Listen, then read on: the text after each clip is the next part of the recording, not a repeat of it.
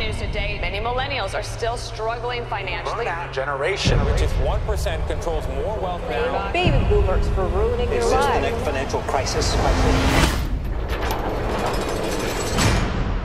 Thank you for agreeing to talk with me. You will have the opportunity to tell your story. Can you give that to me?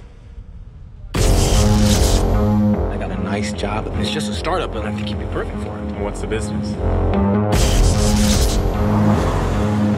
Throw this on before you get out.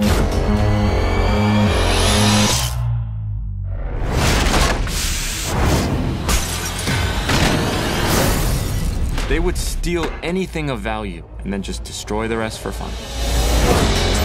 And Mel Donnelly is how they made money. You add someone without asking me and bring them to my place of business? I didn't see anything. Oh, yeah, you did.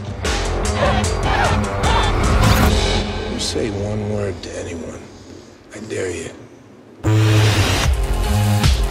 Everybody knows very few people have all the wealth, and they like to keep it that way. We're not just stealing, we're sending a message. If someone considers going off the tracks, my face will be the last thing all of you see. You have not been honest with me. You made the choice to make it harder for yourselves. You don't think I have a plan? We're not here to hurt anybody, right? I mean, that just went great. This is the end. What did you do?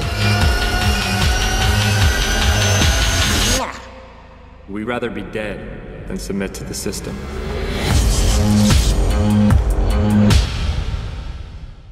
Guys, it's Lisa with a cool movie extra fact now. Rick Baker is one of the most well-known makeup artists in the film industry. His work has been used in such films as Star Wars, King Kong, The Exorcist, Videodrome, Men in Black, The Ring, and How the Grinch Stole Christmas. But it was his work on An American Werewolf in London which caused the Academy Awards to create a whole new category for makeup effects just so Baker could get his golden statue for his efforts. As of 2018, Baker has won that award seven times. Do you like my shirt? You can get one for yourself in the shop section under the video.